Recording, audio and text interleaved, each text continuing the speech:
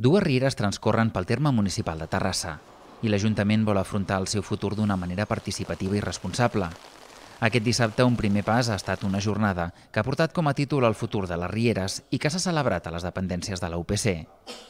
Un grup de ponents procedents de l'àmbit científic i mediambiental han donat el seu punt de vista sobre quin model hauria de seguir aquests torrents d'aigua. Tenim la Ria de les Arenes, que en cap cas podem pensar en un soterrament.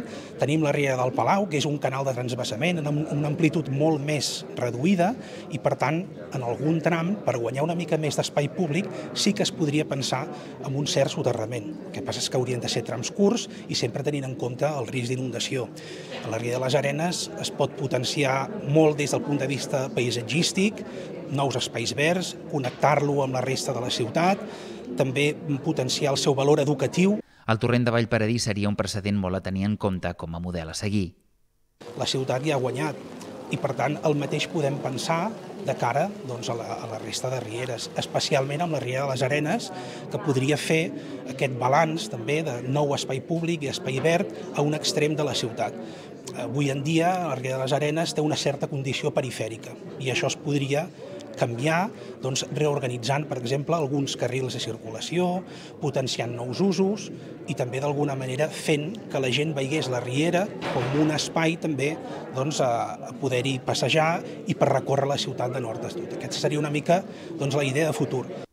L'alcalde Jordi Ballart ha recordat que la gestió de les rieres sempre és una tasca molt present en les responsabilitats de govern. Quan ja tenim un primer esquema amb les diferents possibilitats i oportunitats, també tenim una relació fluida i sòlida amb l'Agència Catalana de l'Aigua, que estem convençuts que amb el nou govern de la Generalitat eh, seguirà sent així, i també un balanç força complet de totes les actuacions de neteja, de manteniment i de millora que hem portat a terme els últims anys i que pensem que estan canviant en el, a fons la fesomia de les rieres i també la seva seguretat.